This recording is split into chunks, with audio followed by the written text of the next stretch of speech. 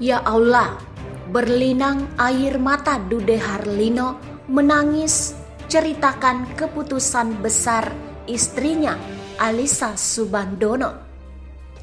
Pernikahan gue. Pasangan selebriti Alisa Subandono dan Dude Harlino menjalin rumah tangga yang jauh dari kabar miring, bahkan sampai setelah 8 tahun usia pernikahannya. Hubungan rumah tangga Alisa Subandono dan Dude Herlino nampak adem ayem tanpa ada gosip miring maupun gosip orang ketiga dalam rumah tangga keduanya. Namun siapa sangka akhir-akhir ini Alisa Subandono yang nampak semakin kurus dikabarkan tak bahagia menjadi istri dari Dude Herlino. Banyak yang menilai bahwa bentuk fisik Alisa Subandono berubah semakin kurus semenjak menikah dengan Dude Harlino. Tak sedikit pula yang mengira bahwa Alisa Subandono sedang mengalami masalah pada kesehatannya sehingga berdampak pada tubuhnya yang terlihat semakin kurus.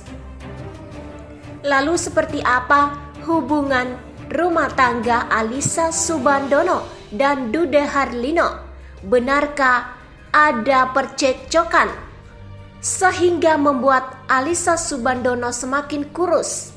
Dan benarkah terjadi perceraian di antara keduanya? Simak selengkapnya berikut ini.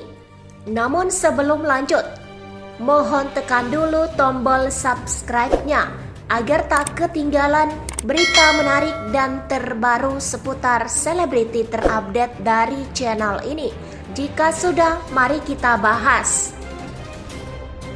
Seperti yang diketahui, pasangan yang menikah pada tahun 2014 lalu memiliki perbedaan usia yang cukup jauh, yakni 11 tahun. Banyak yang mengira bahwa keputusan Alisa Subandono untuk menikah di usianya yang masih muda yakni 23 tahun adalah karena desakan dari kedua orang tuanya. Lantas benarkah isu yang beredar bahwa Alisa Subandono mengidap mengidap penyakit dan menggugat cerai Duda Harlino? Kabar buruk itu pun langsung ditepis oleh sang suami Duda Harlino saat hadir di podcast Daniel Mananta Menanggapi pemberitaan tersebut, Alisa Subandono pun membantahnya. Istri Duda Herlino tersebut mengaku bahwa penyebab tubuhnya menjadi kurus adalah karena kesibukannya dalam mengurus rumah tangga.